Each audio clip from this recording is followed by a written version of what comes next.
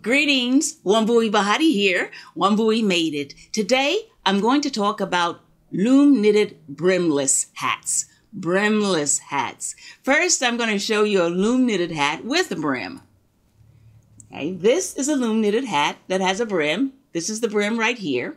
When I was making this hat, I started the foundation and I made the foundation twice as long as I wanted my brim to be because I knew that I was going to fold it in half in on itself, put it back on the loom, and then proceed to knit out the rest of the hat until it was finished. So this is a brim. I do have a video on this channel that demonstrates how to make a loom knitted hat with a brim.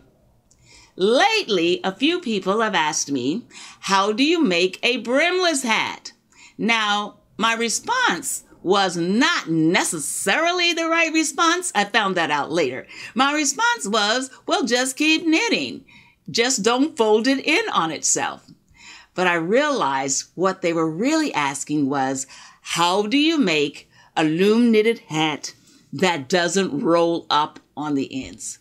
And so that's what I'm going to tell you today. I'm going to give you the key to how to make a loom knitted hat that doesn't roll up on itself at the ends. I'm going to give you the key and you will be able to take that key and run with it and you will be able to make you brimless hats until the cows come home. You will make you some beautiful brimless hats that do not roll. Now, the key to making a brimless hat that doesn't roll up on the end is the same key that was necessary when we decided that we no longer wanted our scarves to look like sausages.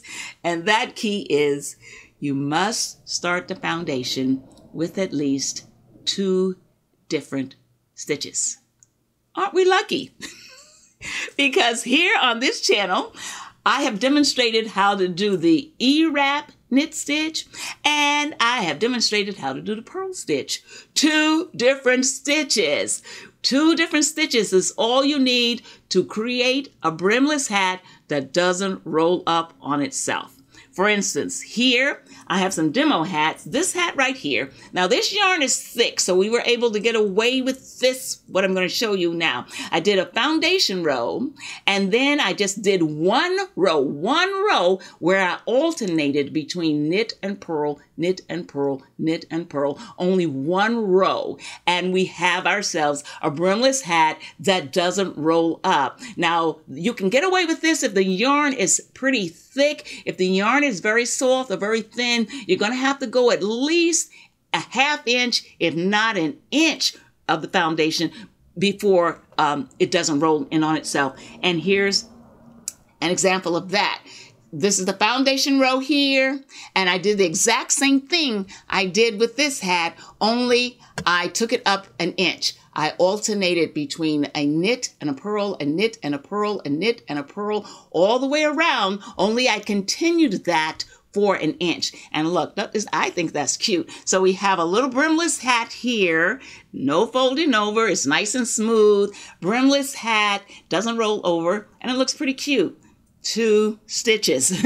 and then I have this one where I'm using those same two stitches. What I did was instead of alternating the knit, the purl, the knit, the purl, what I did was I made one row of knit, then one row of purl, one row of knit, one row of purl until about an inch. And then now we have a brimless hat. Again, no fold over, nice and smooth inside, doesn't fold over. And we have a beautiful brimless hat that doesn't roll up on itself. And so that's the key. So with those two stitches, if you know two, maybe some of you know three or four stitches, even better. Just start the foundation with more than one stitch.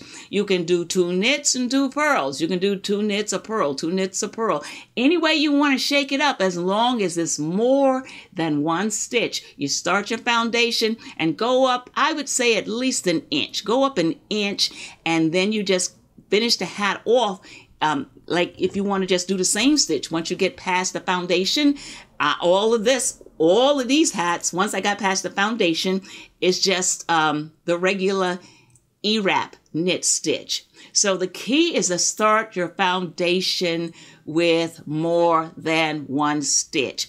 Now, I I don't know if I even need to demonstrate anything because I feel like if you know those two stitches, you can take it and run with it. For those of you who are new, I really recommend that you watch the uh, loom knitting for beginners that's on this channel and also how to purl stitch which is on this channel and once you have those two stitches you can make your uh, loom knitted hat that doesn't roll.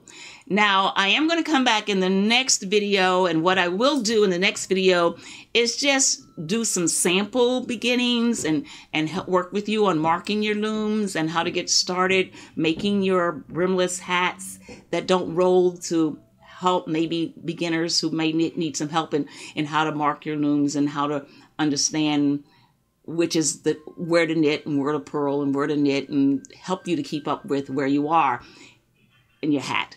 So that's what I'm going to do. Today I'm going to leave you with that key and then I'm going to come back and uh, give a little more detail about marking off and really starting the foundation of your hat in the next video.